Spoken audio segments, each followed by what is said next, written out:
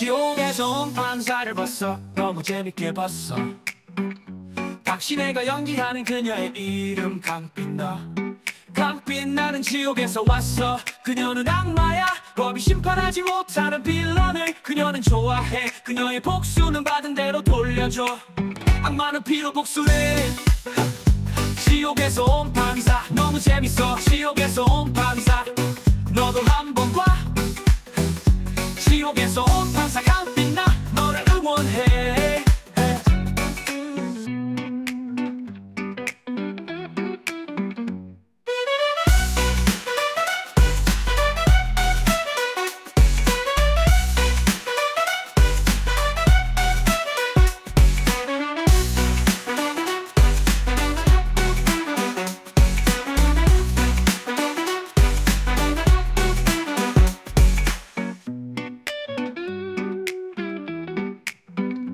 지옥에서 온 판사. 너무 재밌어 지옥에서 온 판사. 너도 한번 봐 지옥에서 온 판사. 강빛나 너를 응원해